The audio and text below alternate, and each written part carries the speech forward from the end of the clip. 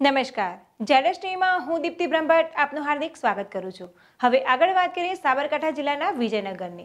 સાબરકાંઠા જિલ્લાના વિજયનગરમાં નવીન બનેલ ગોડાઉનનું લોકાર્પણ કરવામાં આવ્યું. વિજયનગર તાલુકામાં નવા ગામ ધનેલા ગામે બનેલ ગુજરાત સરકાર પુરવઠા નિગમ દ્વારા કરોડોના ખર્ચે બનેલ નવનિર્મિત સરકારી પુરવઠા ગોડાઉનનું ઉદ્ઘાટન વિજયનગર મામલતદાર પીજી ચૌહાણના હસ્તે કરવામાં આવ્યું હતું.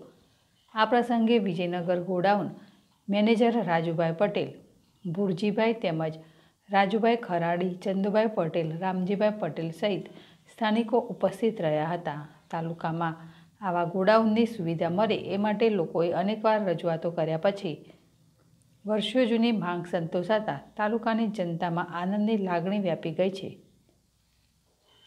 લલિત ડામોર ચેડેશ વિજયનગર.